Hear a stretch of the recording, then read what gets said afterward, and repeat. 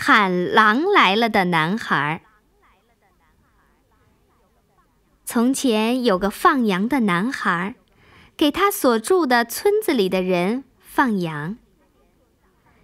他每天早晨从羊主人那儿把羊集合在一起，然后赶到山上去吃草。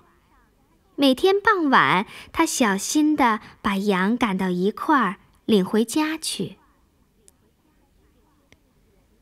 有些日子待在山坡上很舒服，时间过得很快。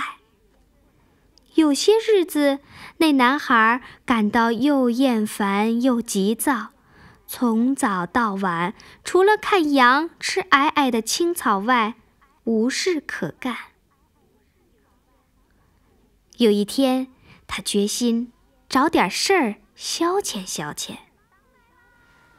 狼来啦！狼来啦！他扯着嗓子喊道：“狼抓羊啦！”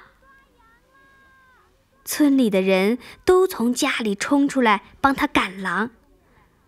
他们发现，那个放羊的男孩一见村里的人，气愤的脸色就哈哈大笑，笑得眼泪顺着腮帮子流下来。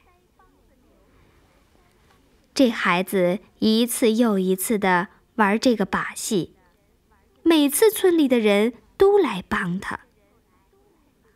后来，在一个冬天的傍晚，他正打算把羊赶拢来回家时，一只狼真到附近来觅食了。他从羊发出的惊恐的咩咩叫声意识到狼来了。他往暗处看去，发现一个长长的灰色的模糊的影子向羊群爬去。放羊的男孩吓坏了，狼在昏暗中看上去很大，而他只有一根牧羊人用的弯柄杖可以来打狼。他一边大喊道：“狼来啦！狼来啦！狼抓羊啦！”一边向村子跑去。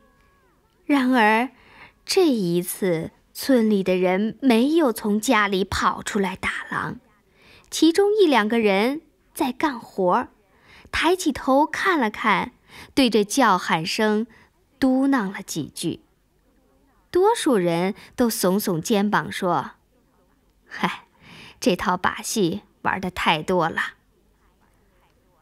孩子还没有找到人帮忙，狼就赶着所有的羊。逃跑了。